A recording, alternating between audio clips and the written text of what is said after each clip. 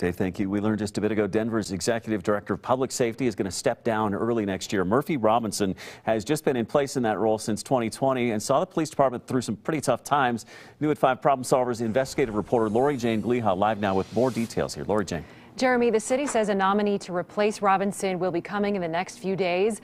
The Department of Public Safety oversees seven agencies, including police, fire, and the sheriff's office. Robinson wasn't available to explain on camera why he's stepping down this afternoon, but in a statement, he said he did not approach the decision lightly and that serving in this role has been one of the greatest honors of his life. He took the top spot at the start of the COVID 19 pandemic and just prior to the George Floyd protests, which led to a slew of lawsuits against the city. During that time, the Office of the Independent Monitor also released a massive report calling out extremely troubling police tactics that were used during the protests. The Citizen Oversight Board has been working with Robinson To implement a transformation office in the city that would work on recommendations to reimagine public safety, transparency, and oversight.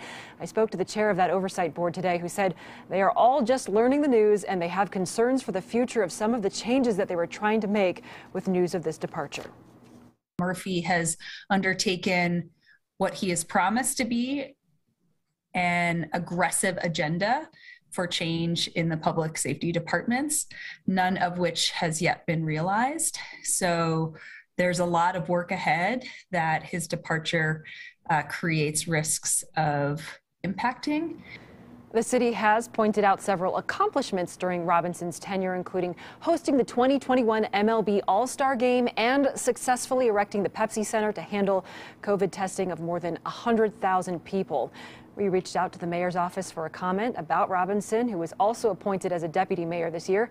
Mayor Hancock called him an outstanding public servant and a true asset to our city and our residents. I'm Lori Jane Fox 31.